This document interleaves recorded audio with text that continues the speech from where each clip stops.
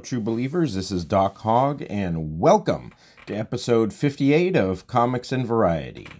If you like this channel, please do subscribe, hit the notification bell to be notified when I post new videos.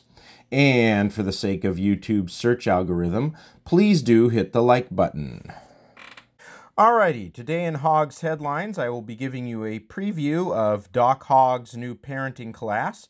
So if you have kids, you're going to want to stay tuned for that.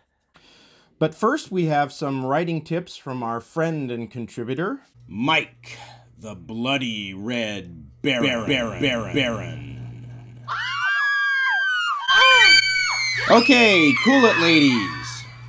Alrighty, in today's video we have some more pointers about writing, so let's get uh, let's get to it.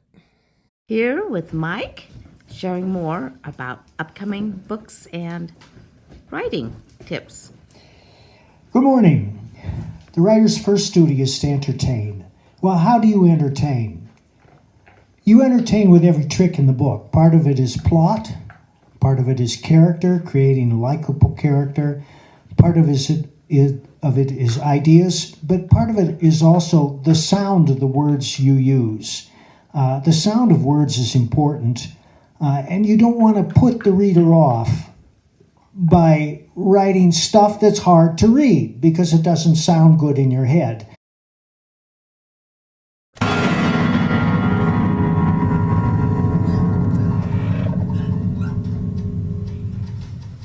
Uh, I was trying to read an adaptation of a Russian novel the other day that my brother in law gave me. It's called The Master and Margarita.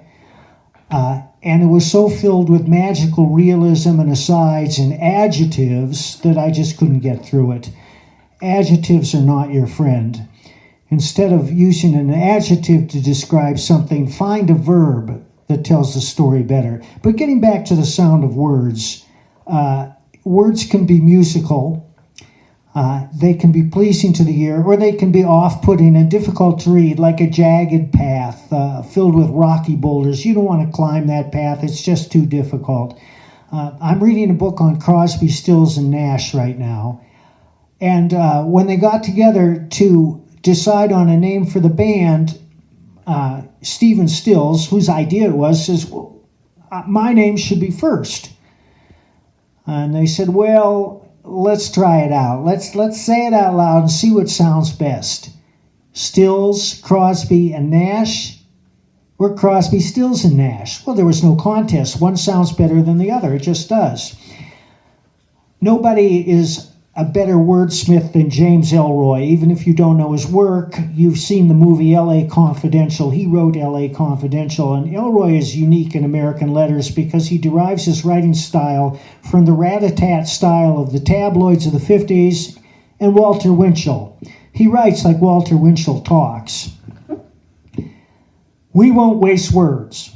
What paparazzi plague police department deploys proactive propaganda via a vivid TV show? Said show, sadly sagging into retrograde ratings, a ripe rumor.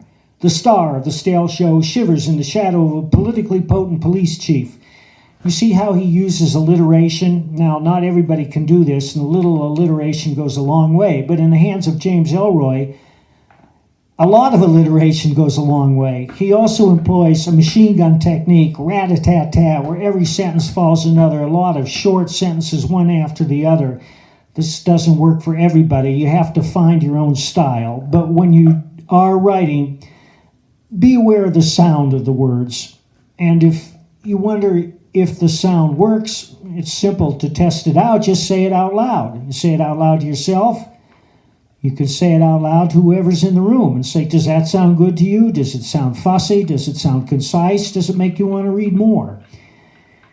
So, the sound of words is important. Thank you. All right. Any new things on the horizon? New books published or?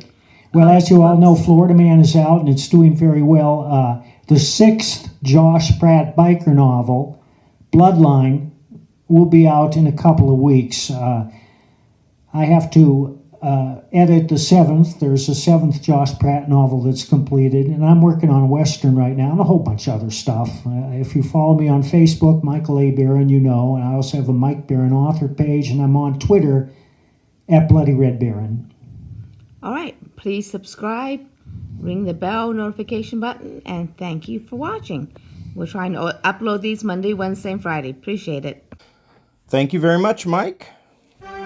Alrighty, that music means that it is time for Hog's Headlines, all the news that Doc Hog wants to report on. Dateline How to Be a Better Parent. Yes, as noted earlier, I am starting up a new parenting class. I will be teaching you how to teach your kids all the right things. And believe me, it gets results. Here's an example. Can you say? Hi. And Daddy's got a quick question for you, okay? Who's this? Thanos. That's right. Okay, if you're interested in this parenting class, please email me for times and prices. That's all for now. Until next time, have a very nice day. Thanos.